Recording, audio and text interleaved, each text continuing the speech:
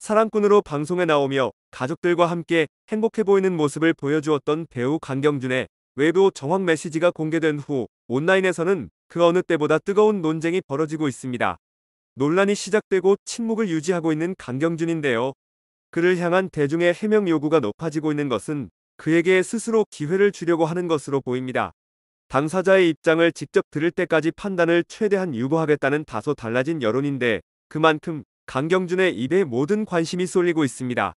지난 3일 강경준이 지난 12월 26일 유부녀 A씨와 외도를 저질렀다는 의혹으로 5천만 원의 손해배상 청구 소송을 당했다는 보도가 등장했고 이는 사실로 확인됐습니다.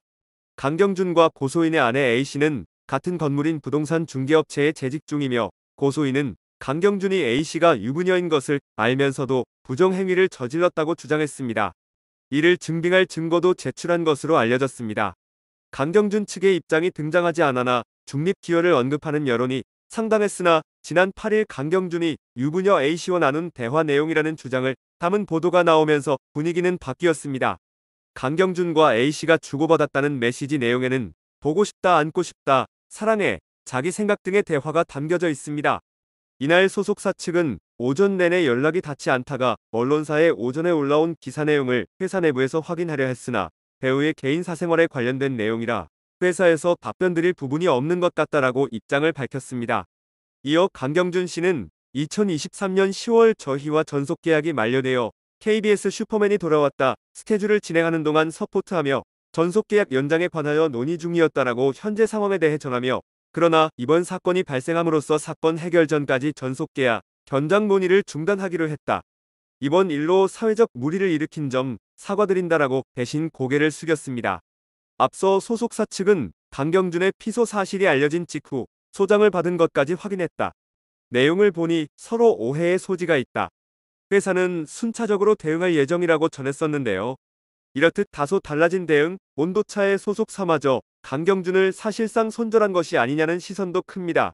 전 소속사의 입장을 접한 네티즌은 실망감을 감추지 못하며 강경준이 침묵하며 스스로 사람들의 중립 기여를 풀고 있다는 반응을 보이고 있습니다. 이미 대중은 앞서 배우고 이선균의 안타까운 일을 겪으며 사적 메시지 공개의 위험성권을 인지하고 있습니다.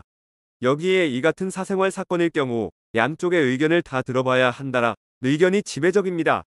그리고 그간 사랑꾼 이미지로 사랑받고 응원받았던 강경준을 향한 일말의 믿음은 그가 직접 이에 대해 언급하고 해명할 때까지 기다려야 한다는 목소리로 이어졌습니다.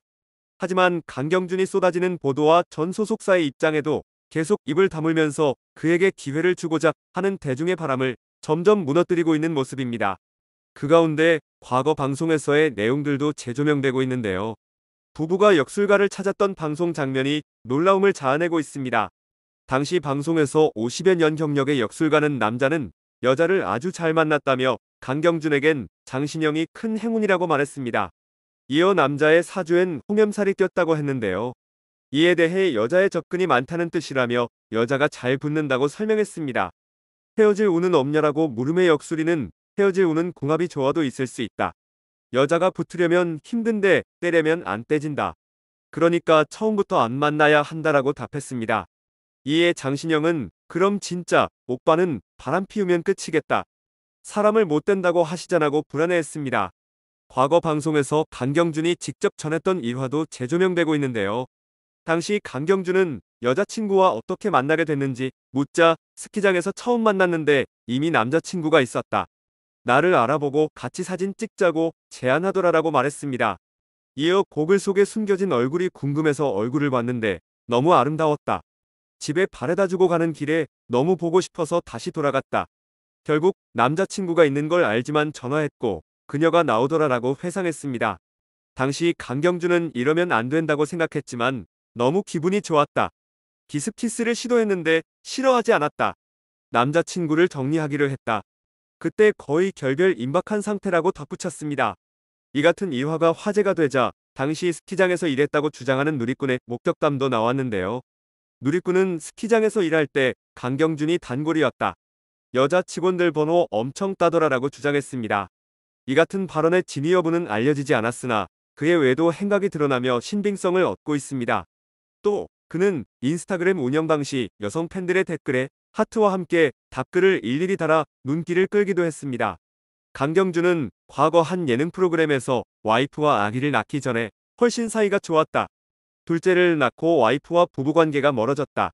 원래는 꼭 껴안고 잤는데 이제는 그런 것도 없다라며 부부 사이의 권태기를 간접 언급하기도 했습니다. 결국 누리꾼들은 장신영의 SNS를 찾아갔습니다. 장신영은 지난 10월 게시물을 끝으로 SNS 활동을 하지 않고 있는 가운데 누리꾼들이 장신영의 SNS에 다양한 반응을 보이며 훈수까지 두고 있습니다. 사실 관계가 확인되지 않았기 때문에 무조건적 비난은 지양해야 하지만 일부 누리꾼은 이혼 소송 들어가라, 용서해주면 안 된다, 절대 이해하려고 하지 말아라 등 이혼하라는 반응과 너무 속상하다. 두 분 지금 상황을 잘 극복해서 행복하게 살 길, 애들도 있으니 참고 살아야 한다. 모든 부부 다 위기가 있다 등 불륜 의혹에 휩싸인 강경준을 용서하고 살아야 한다는 반응 등 누리꾼들의 훈수가 이어지고 있습니다. 장신영이 SNS 계정을 비공개로 전환하거나 댓글창을 닫는 등의 조치를 취하지 않아 이 같은 누리꾼들의 반응이 쏟아지고 있어 안타까움을 자아내고 있습니다. 의혹이 불거진 이후 장신영의 반응에 대해서도 전해졌는데요. 장신영의 지인의 이야기에 따르면 장신영이 이번 사안으로 굉장히 큰 충격을 받은 것 같다면서 장신영이 감정적으로 격해져서 눈물을 흘리기도 했다고 전해왔습니다. 장신영의 충격은 이해가 가는 범위에 있는데요. 장신영은 12월 초까지만 하더라도 강경준과 둘째 아들이 함께 갔던 제주도 영상을 공개하기도 했습니다. 해당 영상은 아직도 비공개되지 않고 그냥 두고 있는 상황으로 그만큼 남편 강경준의 사랑과 믿음이 굳건했다는 의미라고 볼 수 있습니다. 또 다른 지인은 장신영 심성 자체가 천성적으로 여리고 순한 편이다. 첫 남편과 이혼 이후에도 아이를 키우면서 어떻게든 살아가려고 노력했던 모습이 기억이 난다. 그때도 장신영이 바보처럼 보일 정도로 모든 걸 다 퍼주고 왔던 기억이 난다라고 전했는데요. 사랑꾼으로 알려진 남편의 부적절한 모습이 공개되며 그 누구보다 큰 충격을 받았을 것으로 보입니다. 이는 강경준 개인의 사생활 논란이지만 타격은 가족들 모두 함께 맞게 됐습니다. 강경준과 아내인 배우 장신영이 그동안 방송에 함께 출연하며 두 아들과 일상을 공개해온 탓입니다. 대부분의 가족 예능 프로그램은 배우자를 비롯해 자녀들까지 노출되기 마련입니다. 그러나 연예인이 논란을 일으킬 경우 배우자와 자녀들의 신상이 이미 일파만파 퍼져 함께 피해를 입게 됩니다. 과거 SBS 아빠를 부탁해서 딸과 함께 출연한 배우 조민기, 조재현 역시 그러한데요. 두 사람은 해당 프로그램에서 딸들과의 일상을 공개했으나 직후 이성범죄 가해자로 지목됐습니다. 당시 딸들을 비롯해 다른 가족들 역시 방송에 노출됐던 만큼 한동안 이들도 대중의 입방아에 오르내리게 됐습니다. 파경을 맞은 연예인 부부들 역시 과거 출연한 가족 예능 속 일부 장면들이 회자되며 곤욕을 치렀습니다. 단발성 장면들 속 발언들을 이들의 이혼 사유와 엮으며 억측을 이어갑니다. 한때의 추억으로 남을 예능 프로그램 속 장면이 이젠 이들의 불화 씨앗이 되는 셈입니다. 이에 일부 연예인들은 가족 예능에 대한 거절 의사를 밝히기도 했습니다.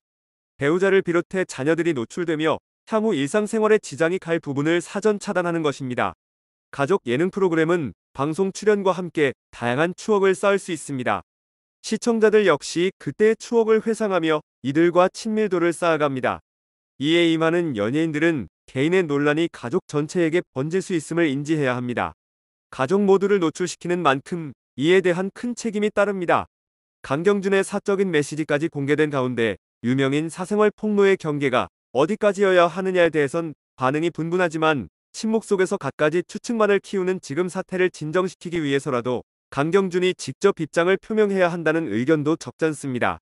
과연 강경준이 직접 입을 열까요? 사생활 논란으로 한 배우가 세상을 떠난 지 얼마 지나지 않아 또 다시 발생하며 연초부터 대중들의 마음을 불편하게 하고 있습니다. 이 논란의 끝은 어떤 모습이 될지 계속해서 지켜보며 더 이상 같은 일이 반복되지 않길 바라겠습니다.